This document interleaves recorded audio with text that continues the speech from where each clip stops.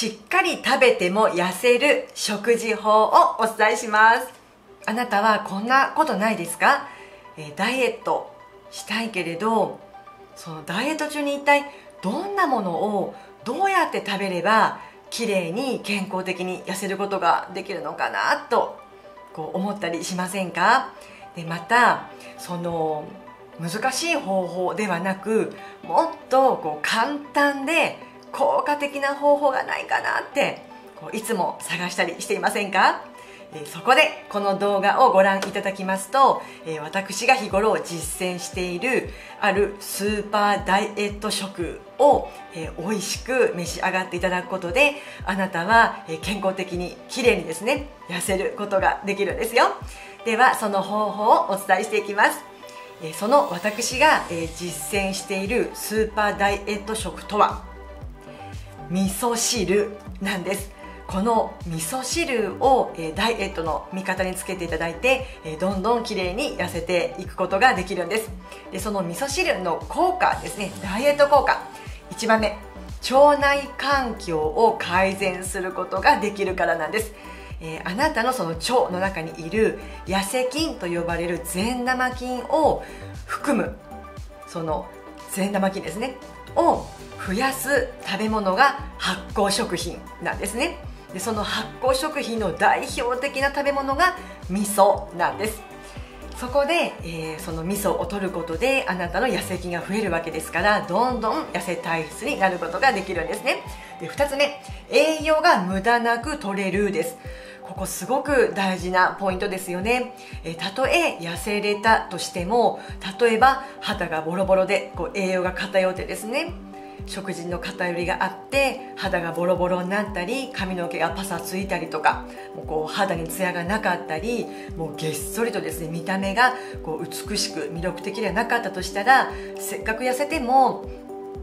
残念な結果になりますよね。そこでこのお味噌汁がすごいところはそのまあ、お野菜であったりいろんなその食材をこの煮てしまったりですねこう湯がいてしまったりする時にやはりその水溶性のビタミンというのがそのお水にどんどん出てってしまってその栄養がなくなってしまうわけです。ただお味噌汁がいいのはその水溶性お水に溶け込んだビタミンさえも一緒にお汁として全部栄養を余すことなくあなたは食べることができるわけですからこれはですねもう本当ありがたいですよね。もう決してその栄養を無駄にせずに全部その食材からの栄養が取れてしまうわけなんです。では3つ目食べ過ぎ防止です。もともとお味噌はまあ低糖質低カロリーですから安心なんですけれども、まあ、ちょっと塩分には気をつけてくださいね。いろんなお味噌の,、まあ、あの種類を日替わりで使うのも飽きないあのポイント。上手に食べるポイントになります。がここの食べ過ぎ防止というのはそのお味噌汁具だくさんのお味噌汁をセットでいただくことで例えばその丼物だけで済ませるとか焼きそばだけで済ませるとかパスタだけとかではなくってその炭水化物のま塊のようなですね太る食べ物の量を例えば半分に減らしてみた代わりにお味噌汁をしっかりセットで食べるです。そうすることであの、まあ、栄養も満点ですしあの満腹感も得られますし、まあ、食べ過ぎ防止にすることができるんです。ではお味噌汁ですね。ベースはいつものあのお味噌汁しっかりとっていただきたいんですけれども例えばあの、まあ、具材をですねアレンジしていただいて、え私も時々その味に飽きてきたらちょっと珍しい食材でトマトを入れてみたりとろけるチーズ入れてみたいですね。もうこうなったらお味噌汁で全部栄養を取ってしまえと思ってですねお肉入れたりお魚入れたりするんですよ。もう何でもありなんです。お味噌汁ってもう何でもいけます。えこれも？というのも案外ですね OK なんですね。で私も本当時間がない時におすすめなのが今からおすすめ食材以外ですね一つあるんですがもうとにかく朝とか忙しいじゃないですか。特にこう寝坊した時とかですねああしまったって思うわけです。でも味噌汁は食べたいと思うんですね。絶対朝は玄米と味噌汁は私もこれも絶対セット。な時にあの別の動画で塩麹納豆というですねその塩麹とその納豆でしっかりそのまたさらに発酵させたですねものすごく美味しい納豆の作り方お伝えしてるんですね。この動画をご覧いただいた後に詳細欄にリンクを貼っておきますのでぜひそのあの塩麹納豆をその味噌汁の具材として使っていただきたいです。簡単なんです。もうとにかく出汁を取ってお味噌を溶いたそのつゆに先ほどの塩麹納豆をもうもう大さじ1ぐらいでバッとこう入れてわーっと溶かしていただくだけでものすごく栄養満点でダイエット食でしかも美味しいですね。ちょっと余談でしたけれどもあの塩麹納豆入りの味噌汁も簡単でもう時短です。朝忙しい時でぴったりの、えー、メニューですからぜひ食べてみてくださいね。作って食べてみてください。ではここでいよいよそのスーパーダイエット食。私が、作っているスーパーダイエット食。イコールこのスーパー食材ダイエット食材が入った味噌汁を、今から一つずつご紹介していきます。もうズバリですね。干し野菜を使ってください。ということなんです。で干し野菜って何？ということなんですけれども天日干しされたお野菜たちのことなんです。でこの干すこと。天日干しをされたお野菜たちってですねもうその生で食べられるよりも栄養素がもう何十倍にもですねアップするんですね。それを今から一つ一つご紹介します。もうほんとスーパーですよ。すごいです。でまあ1番目。干し椎茸です。私普段使ってるこちら干し椎茸なんですけれどもあのしかもですね干し椎茸かっこスライスです。このスライスになってるしいたけものすごく重宝するんですね。もう水に戻す必要もありませんしカットされてますからもう先ほど私あの寝坊をねした朝なんかは特にもういちいちそのお野菜を洗って切って湯がいてってもう時間かかるじゃないですか。そんな時にこの干し椎茸さんをですねバーッと一つかみ掴んでもうだしと味噌ついた中にこうパーンと入れる。はい出来上がりなんですよ。めちゃくちゃ便利です。大好きです。干し椎茸。でこの干し椎茸がすごいのはその生の椎茸と違ってまあ、あの今からお伝えする食材ですね。その栄養価がすごいんです。食物繊維であったりカリウムビタミン D 葉酸ビタミン B 群鉄分、まあ、カルシウムなどなど他にもいっぱいあるんですけれどもとにかくですね例えば干し椎茸で言いますと食物繊維も生の時に比べたら10倍増えるんですよ。でプラスあの食物繊維も豊富カリウムも豊富。この2つはもうダイエット食にぴったりです。特にカリウムなんかはですねそのむくみ解消をしてくれますし食物繊維ももうお腹すっきりデトックスになりますよね。そして干し椎茸ビタミン D ですね、まあ、骨の、まあ、育成に必要なもう大事な大事なビタミンなんですがこれがなんと生の椎茸と比べて30倍も増えるんです。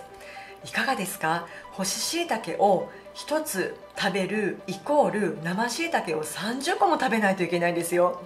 食べれませんよね30個なんて。もうどれだけ、まあ、食べれないのもありますしコスパもかかるかということです。ですからとにかくこの干し野菜を味方につけていただきたいんですね。まあ、たけはそういった、まあ、力がある。です。で次、えー、干しレンコンです。こちらです。私も使ってこの干しレンコン。でレンコンもめちゃくちゃ栄養あるんですよね。でこの干しレンコンのすごいところはですね今こんなちっちゃいんですけれどもお味噌汁のそのおつにこう入れたらバーッとですねものすごく大きくなって食べ応えもシャキシャキですしもうお腹いっぱいになります。もうこれもめちゃくちゃおすすめです。では3つ目最後切り干し大根です。私が使っているのは宮崎県産のこういった切り干し大根。で普通切り干し大根ってあの本当こう甘辛くこう炊いたようなあの例えばこうお弁当の幕の内弁当にこう必ず入ってるみたいなああいうイメージがあると思うんですけれどもお味噌汁にも大活躍です。もうこれも簡単です。もう掴んで入れるだけ。いいと思いません？もう掴んでいるだけですよ。簡単です。なので私はですね例えば今朝食べた食材は時間がなかったので干し椎茸を入れてレンコンを入れて切り干し大根をこうちょっとこうちぎってしかも切ったりせずにもう手でバーッとちぎってですね入れるだけ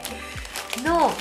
まあ、プラスその塩麹納豆も入れてですねものすごいもう栄養価いっぱい具だくさんもう腹持ち OK というですねスーパー味噌汁を作って今朝食べたのでえ今日もめちゃくちゃ朝から忙しかったんですけれどもとっても夕方今もこの収録夕方なんですが元気です、えー、ちなみに今日の収録日曜日なんですけれどもね。さあそしてとちなみにこの切り干し大根さんこちらもですねものすごく栄養が高くて例えばこのビタミン B 群もすごく豊富なんですね。これもま生の大根に比べたら10倍持って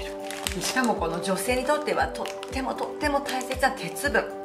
女性はやっぱり貧血気味な方多いですよね。鉄分不足ですと頭痛が出やすくなったり疲れやすくなったりもう本当にいいことゼロなんですがなんとこの干し大根ですね。生の大根に比べた鉄分が32倍もあるんですよ。いかがですか？干し大根イコール鉄分ってあんまりねイメージないと思うんですけどもすごいスーパー栄養ダイエット食材なんですね。いかがだったでしょうか？以上のこういったまず干し野菜をあなたの日頃作るお味噌汁にどんどん入れていただくことで栄養がもう何十倍にも取れること。そして腹持ちがよくって食べ応えがあって食べ過ぎ防止になること。で何よりも、えー、腸内環境痩せ菌と言われる善玉菌のもう喜ぶ餌。ですから、えー、もう今からもうすぐにでもこの食材を使っていただいて、えー、あなたご自身とそして周りの大切なご家族のために方々のために役立ててどんどんシェアして差し上げてくださいね。でまた、えー、まあ、ここで私のお話しますけれどもこういった干し野菜ってですねこういったしいたけとかれんこんとかこういったのってなんかこう地味じゃないですか。ごめんね地味とか言って。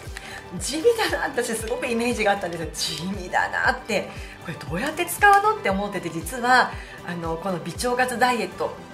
の取り組む前の私ですね、腸活を知らなかった私はですねこんな食材実はこう自分で買うことってなかったんですよ。どうやって食べたらいいのみたいなですね。こう大活躍じゃなかった子たちなんですよね。でも今ではもう常に常備してます。もうないとああ大変ってもうすぐ買いに行くぐらい大切に大切に扱っている、えー、干し野菜さんたちなんですね。ですからあなたもあの特にこういったコロナの、まあ、影響を受ける時代ですね。やっぱり保存食って大事ですよ。いつどうなるか分かりません。なので、えー、また別動画であのこういったこう緊急事態に備える、えー、おすすめ保存食という動画も私、えー、アップしておりますのでこちらもあの詳細欄に LINE のリンクを貼っておきますからぜひぜひあのお互いにですねこういった状況ですから健康的にやっぱり食べたいじゃないですか。缶詰ばっかりとか嫌じゃないですか。ですからあなたとそして大切な方を守るためにもこういった保存食は常にセットで置いておいてくださいね。さあいかがだったでしょうか。この動画のお話役に立ったと思っていただけましたら高評価ボタンとチャンネル登録をよろしくお願いいたします。